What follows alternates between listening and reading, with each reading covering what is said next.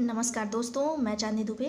आज से आपको P V R study channel से जुड़कर हिंदी विषय पढ़ाऊँगी और हिंदी विषय सभी कंपटीशन एग्ज़ाम में आज अनिवार्य रूप से पूछा जाता है। साथ ही साथ पूरा हिंदी व्याकरण मैं आपको पढ़ाऊँगी और अगर आप क्रमवार मुझसे पढ़ते चलेंगे तो आपका ये डी एल एड की जो भी सेमेस्टर क्लासेज हैं, उनको, उनके लिए भी महत्वपूर्ण होगा और साथ ही साथ अन्य कम्पटिटिव एग्ज़ाम के लिए भी आपके लिए बहुत ही महत्वपूर्ण है। तो आइए आज से हम शुरू करते हैं और शुरुआत हम करेंगे वर्ण और वर्णमाला से कि वर्ण क्या होता है, वर्णमाला क्या होता है, स्वर व्यंजन क्या होता है, ये सारी चीज़ें हम जानते चलेंगे क्रमबद्ध तरीके से। तो आइए शुरू करते हैं। वर्ण क्या होता है, सबसे पहले जानते हैं। वर्ण भाषा के उच्चरित और लिखित दोनों रूपों के प्रतीक हैं और यही भाषा की लघुतम इकाई हैं। ठीक ना? वर्ण भाषा के उच्चरित, ध्यान दीजिएगा, उच्चरित और लिखित दोनों रूपों के प्रतीक हैं। और यही भाषा की लघुतम इकाई है, यानी कि जो हम बोलते हैं, उच्चारण करते हैं और जो लिखते हैं, इन दोनों रूपों के प्रतीक के रूप में वर्ण को हम रखते हैं, ठीक ना? और इसे भाषा की लघुतम इकाई कहा जाता है। अब वर्ण तो हम जान गए और वर्णमाला किसे कहते हैं? तो ये जो भी जितने भी वर्ण आते हैं, अ से लेकर के आपका ज्ञ तक जो भी वर्ण आते हैं, इन्हीं को जो हम क्रमबद्ध रूप से लिखते हैं। ऐसा नहीं है कि अ लिख दिया तो अ के बाद ई लिख देंगे, नहीं। अ के बाद आ लिखेंगे, यह जो क्रमवार रूप है, इसी क्रमबद्ध है। समूह को वर्णमाला कहते हैं, ठीक है? अब मानक हिंदी वर्णमाला क्या होती है? आइए जानते हैं। मानक हिंदी वर्णमाला को दो भागों में विभाजित किया गया। उन विभाजन को देखते हैं। कह रहा है कि हिंदी वर्णमाला के दो प्रकार के वर्ण होते हैं और वर्ण कौन कौन से होते हैं? एक होता है स्वर वर्ण और दूसरा होता है व्यंजन वर्ण। तो स्वर वर्ण स्वर वर्ण क्या होता है? इनको हम जानें। कह रहा है कि जिन वर्णों के उच्चारण में किसी दूसरे वर्ण की सहायता नहीं लेनी पड़ती है ये स्वर वर्ण कहलाते हैं। यानी सीधे सीधे आप जानिए कि जो स्वर होते हैं ना, यह स्वतंत्र होते हैं और इनको उच्चारण करने के लिए अकेले ही उच्चारण किया जाता है। इनमें व्यंजनों की सहायता नहीं ली जाती है, ठीक? अब कह रहा है कि इसमें यह स्वतंत्र ध्वनियाँ हैं। और इनकी संख्या ग्यारह होती है। जैसे पूछ लेता है कि स्वर कितने होते हैं तो हिंदी में स्वरों की संख्या कितनी होती है? ग्यारह होती है। नोट कर लीजिए इस बात को कि हिंदी में स्वरों की संख्या ग्यारह होती है, ठीक है? अब स्वर, वर्ण कौन कौन से होते हैं? तो इसको हम देखेंगे। स्वर, वर्ण, देखिए, अ, आ ई ई उ उ, री, ए ओ और और ठीक है, ये जो ग्यारहों दिख रहे हैं। यही आपके स्वर वर्ण हैं। अब इसके आगे हम जानेंगे कि स्वर के भेद कौन कौन से होते हैं। तो स्वर के भेद हम देख लेते हैं। कह रहा है कि स्वर के दो भेद किए जाते हैं, लेकिन हम इसी के साथ आपको बता दें कि स्वर के दो भेद यहाँ पे दे रहा है। इसके आगे मैंने एक और भी बढ़ा लिया है। स्वर के तीन भेद किए जाते हैं, ठीक ना?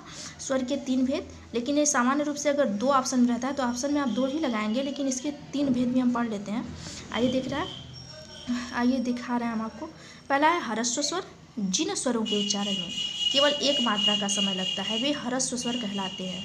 और हरस्व स्वर की संख्या कभी कभी कंपटीशन में पूछा जाता है कि हरस्व संख्या, स्वर की कितनी संख्या होती है? तो आज जान लीजिए, हरस्व स्वर की संख्या होती है चार। और ये चार हरस्व स्वर कौन कौन से हैं? अ ई उ, री। यानी जो हमारे स्वर हैं, उसमें जो, जिसमें मात्राएँ नहीं लगी होती हैं वही आपके क्या होते हैं? हरस्व स्वर होते हैं, जैसे अ हो गया, ई हो गया, ऊ हो गया और री हो गया, ठीक है? यानी छोटा वाला जो भी होता है, वही क्या होता है आपका? हरस्व स्वर होता है, ठीक? अब इसको अ कहने में, ई कहने में, ऊ कहने में, री कहने में कितना ही कम समय लग रहा है, ठीक ना? यानी एक मात्रा का समय लग रहा है। अब आइए देखते हैं आगे। दूसरा होता है दीर्घ स्वर। जिन स्वरों के उच्चारण में हरस्व से दोगुना समय लगता है, वे दीर्घ स्वर कहलाते हैं, ठीक है? इनकी संख्या जो है सात होती है। आ, ई, उ, ए ए उ और औ, ठीक ना? इनकी संख्या सात होती है। यह दोनों ही बहुत ही महत्वपूर्ण है। यानी कि हरस्व स्वर की संख्या हुई चार और दीर्घ स्वर की संख्या कितनी हो गई? सात हो गई। और कुल कितने स्वर होते हैं? तो ग्यारह स्वर होते हैं, ठीक है? ये हो गया आपका हरस दीर्घ स्वर अब आइए एक तीसरा जिसकी मैं बात कर रही थी, वो होता है प्लुत स्वर। ठीक है, प्लुत स्वर त्रिमात्रिक स्वर कहा जाता है। अब इसका जो है प्रयोग कम हो गया है, लेकिन जो है इस, इसमें आप देखिए, इसका ऐसे बनाते हैं, सिंबल ऐसे है। इसको बीच में पहले लोग प्रयोग करते थे। अभी भी इसका प्रयोग कहीं कहीं होता है, लेकिन अभी मानक से हट गया है। लेकिन इसको, इसे त्रिमात्रिक कहते हैं। जैसे हम उच्चारण करते हैं, हमको ओम लिखना होता है ना, ओम। तो इसको ओम उच्चारण किया देर तक, यानी कि मात्रा का समय इसमें अधिक लग रहा है, ठीक ना? यही चीज़ हो गई आपका प्लुत स्वर, ठीक है? अब आइए हम आगे देखते हैं कि क्या चीज़ें हमको पढ़नी है। इसमें आपको पढ़ना है यानी कि इसके अंतर्गत क्या बच गया? अंग और अह बच गया, ठीक ना? अंग और अह को कहते हैं अयोगवाह आपकी दो चीज़ें बचती हैं, अंग और अह। अंग और अह को कहा जाता है अयोगवा। वर्णमाला में इसका स्थान स्वरों के बाद और व्यंजन से पहले होता है। अंग को अनुस्वार तथा अह को विसर्ग कहा जाता है।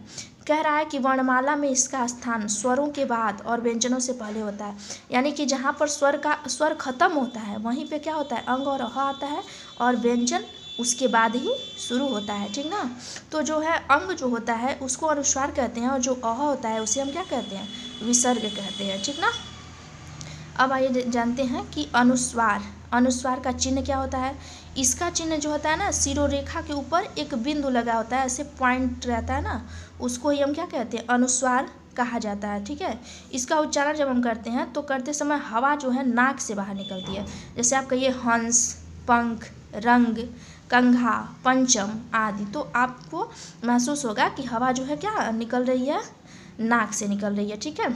अब इसमें देखिए, ये पंचमाक्षर जो हमारे उसके अंतर्गत आते हैं, जो विभाजन किया गया है, आपका वर्ग विभाजन, उसमें इण नम जो चीज़ें होती हैं पाँचों, इसको हम पंचमाक्षर कहते हैं। अभी कभी कोई पूछता है कि पंचमाक्षर क्या होते हैं? तो इयड़ नम जो भी है, ये पाँचों पंचमाक्षर कहे जाते हैं। अब मान लीजिए पहले ऐसे लिखें कंघा तो अंक को ऐसे लिखना पड़ता है, लेकिन इसी के जैसे, इसी के तरीके ऐसे लिख दें। कंघा तो अंग की जो मात्रा है यहाँ पे लग गई और यह अनुस्वार लग गया, इसको इस तरीके से हम प्रयोग करते हैं। अब आइए नेक्स्ट देखते हैं, अनुनासिक। इसका चिन्ह चंद्रमा यानी कि ऐसे बनाया जाता है। तो आप इसको याद रखने के लिए अनुनासिक का चिन्ह क्या होता है या अनुनासिक कैसे होता है? तो मेरा नाम चांदनी है ठीक ना? और चांदनी पे भी आ, आपको लगाना पड़ता है। है, है चंद्र बिंदु ठीक ना? चंद्र बिंदु इसे पे इस पे भी लगाना पड़ता है। तो इसको ध्यान में रखिएगा। कि जो पढ़ा रही थी उनका नाम चांदनी था और उस पर भी चंद्र बिंदु ऐसे लगाया गया था। तो इस निशान को आप याद रखेंगे, ठीक ना? इसका उच्चारण करते समय हवा नाक और मुख से समान दबाव के साथ बाहर निकलती है, जैसे हँसी, मांग, भांति, चांदनी। देखिए मेरा नाम आ भी गया। चांदनी, दांत, आंत आदि, ठीक है? ये जो है सिरोरेखा के ऊपर लगाया जाता है ऐसे, इसका सिंबल होता है तो हमने आपको बता ही दिया। अब आइए जानते हैं कि विसर्ग क्या होता है, ठीक है? इस ध्वनि का चिन्ह, ऐसे दो बिंदु होती हैं, ठीक ना? इसको हम विसर्ग कहते हैं।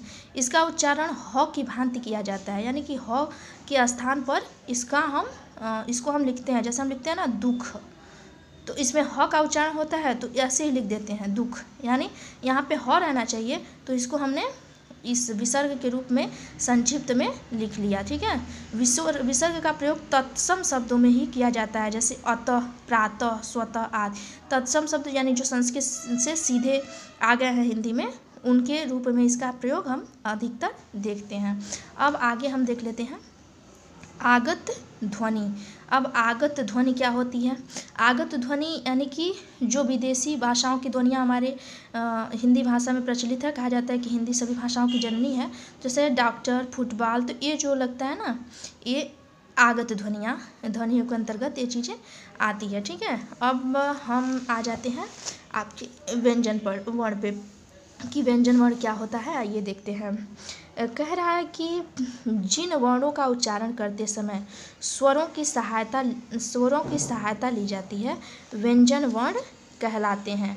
इनका उच्चारण करते समय हवा मुख से अलग अलग स्थानों को छूकर बाहर निकलती है। हिंदी वर्णमाला में इनकी संख्या तैंतीस है। देखिए, यहाँ पे कह रहा है कि यह जो है स्वरों की सहायता से बोले जाते हैं, यानी व्यंजन जो भी होते हैं, स्वर की सहायता से बोले जाते हैं। लेकिन इनकी जो ध्वनि होती है ना, वह अलग अलग स्थानों से निकलती है।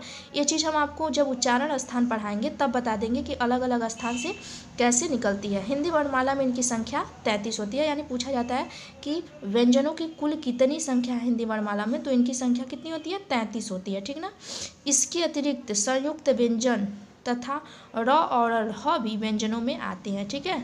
इसके अंतर्गत जो है संयुक्त व्यंजन आते हैं, र और र भी व्यंजन के अंतर्गत रखे जाते हैं, आपको हम बता देंगे आगे। अब इसमें देखिए कौन कौन सी चीज़ें आ रही हैं। क वर्ग, इसमें क ख ग च वर्ग, च छ छ ट वर्ग, ट ठ ढ त वर्ग, त थ द ध न, प वर्ग, प फ भ म, अंतस्थ व्यंजन, ये बहुत ही महत्वपूर्ण है। अंतस्थ व्यंजन पूछा जाता है कि इनकी संख्या कितनी है तो चार इनकी संख्या होती है, य, र, ल और व, ठीक ना? दूसरा हो गया उष्म व्यंजन उष्म व्यंजनों की संख्या भी चार होती है, सौ, श श, ह, ठीक? संयुक्त व्यंजन कौन कौन से होते हैं? तो होते हैं आपके छ, त्र ज्ञ स्र ठीक है? आगत वर्ण। आगत वर्ण, जैसा कि हमें हम बताए हैं कि जो बाहर से, बाहरी भाषाओं से आया हुआ वर्ण हो गया ज, हो गया फ, हो गया, यहाँ पे ऐसे बिंदु लगी होती है। ये आ हो गया, इस पे चंद्र बिंदु नहीं है, या इसमें चंद्रमा, अगर चंद्र बिंदु होता तो यहाँ पे एक बिंदी लगी होती, ठीक ना? अब आगे देखिए। व्यंजन के भेद। व्यंजन के कौन कौन से भेद होते हैं, इसको हम देखेंगे। कह रहा है कि व्यंजन के तीन भेद हैं। अभी हमने स्वरों के भेद पढ़ा, अब व्यंजन के भेद कितने बताना है? तीन भेद है। स्पर्श व्यंजन, अंतस्थ व्यंजन, उष्म व्यंजन। अब थोड़ा थोड़ा आप गेस कर लिए होंगे, स्पर्श व्यंजन हमने ऊपर बताया, अंतस्थ व्यंजन, उष्म व्यंजन। ठीक ना? अब स्पर्श व्यंजन की संख्या होती है टोटल पच्चीस संख्या होती है इसकी, ठीक है? स्पर्श मतलब होता है या छूना, यानी जिन व्यंजनों का उच्चारण के समय श्वास, वायु और जिहवा के मुख के अलग अलग भागों को स्पर्श करती है, वे स्पर्श व्यंजन कहलाते हैं। इनकी संख्या पच्चीस होती है, ऊपर हमने बताया है, यहाँ से भी आप देख सकते हैं, ठीक है? ये अपने वर्ग के प्रथम वर्ण के नाम के आधार पर जाने जाते हैं, जैसे क वर्ग च वर्ग, ट वर्ग, त वर्ग और प वर्ग, ठीक? अब आइए, आगे देखते हैं। अंतस्थ व्यंजन इन इन व्यंजनों का उच्चारण स्वर तथा व्यंजन के मध्य का सा होता है। उच्चारण के समय जिहवा मुख के किसी भाग को स्पर्श करती है। ये चार हैं। य, र लव स्पर्श करती है सॉरी स्पर्श नहीं करती है, यानी यह किसी मुख के किसी भी भाग को स्पर्श नहीं करती है, यानी यह मध्य मध्य से बोली जाती है। य, र, ल, और व ये चार होती हैं। अब नेक्स्ट है उष्म व्यंजन इन व्यंजनों के उच्चारण के समय वायु मुख से रगड़ खाकर उष्मा उत्पन्न करती है। यानी उच्चारण के समय गर्म हवा निकलती है। ये चार हैं सौ, श, सौ और ह, ठीक ना? यानी इसका जब हम उच्चारण करते हैं तो यह जो है रगड़ के साथ बाहर निकलता है, ठीक ना? अब हमने संयुक्त व्यंजन और र ढ के बारे में बताया। इसके बाद हम आपको उच्चारण स्थान जब पढ़ाएँगे तो अच्छे तरीके से बता देंगे कि कौन सी ध्वनि कहाँ से निकलती है। इसी के साथ यह वीडियो यहीं पे मैं समाप्त करती हूँ और बहुत बहुत धन्यवाद। इसको जो लोग भी देख रहे हैं, उन लोगों से निवेदन है कि आप इसे लाइक और सब्सक्राइब करें। यह मेरा प्रयास है पहला और साथ ही साथ मैं आगे हिंदी का पूरा ग्रामर पोर्शन आपको पढ़ाऊँगी। इसको लाइक और सब्सक्राइब करें। बहुत बहुत धन्यवाद। धन्यवाद।